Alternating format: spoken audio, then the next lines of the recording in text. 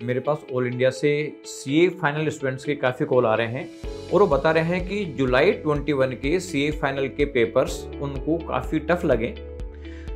हमने एग्ज़ाम से पहले A B C analysis provide किया था सीए फाइनल के लिए और 80 से 90 मार्क्स के क्वेश्चन उस ए और बी कैटेगरी में से मिले हैं।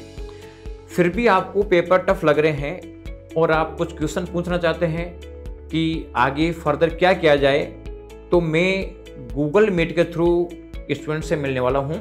आप वन टू वन अपनी प्रॉब्लम मेरे से पूछ सकते हैं। इसके लिए आप दिए हुए लिंक पे क्लिक करके अपना रजिस्ट्रेशन कराएँ, जिससे कि मीट आईडी हम आपको भेज सकें और आप one to one question solve करके और आगे की प्लानिंग कर सकें। Thank you.